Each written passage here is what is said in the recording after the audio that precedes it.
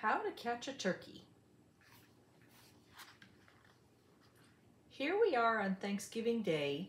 It's that special time of year. Yes, I know I am a turkey, that much should be clear. So gather round, I have a tale, and it's really quite a story. What I tell you now is not a joke. It is my crowning glory. It all began one year ago. I was out of school, you see. Play preparations were underway, but that didn't matter to me. Some kids walked by in silly clothes, talking about the play. We'll even have a turkey on stage. It's perfect for Thanksgiving Day. Turkey? Stage? No way, no how. Had I really heard that right? I broke out of my pen and ran away with a case of bad stage fright.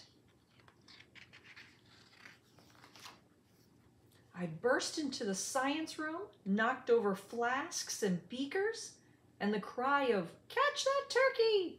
boomed over the loudspeakers. So now more children join the chase with catapults and food, but their goopy mashed potatoes weren't enough to keep me glued.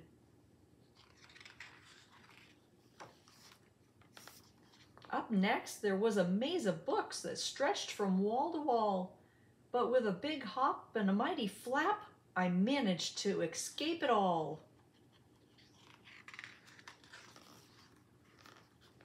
I ducked past chairs and bags and desks. Now that was quite the trick. The kids thought they could stop me here, but I was much too quick.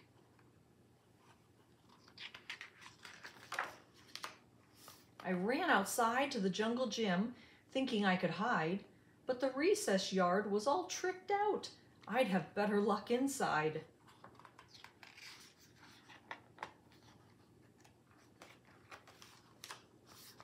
Finally, the kids gave up, but the principal gave chase. My only hope of escaping her was keeping up my pace. I slid into the coach's room and crashed into a chair. I got tangled up in jerseys, but I won't get stuck in there. I ran into a curtain. There was nowhere else to go. I couldn't get past the principal, but the curtain led to the show.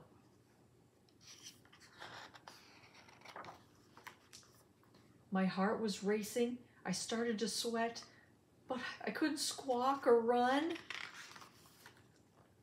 I took a deep breath. I can do this.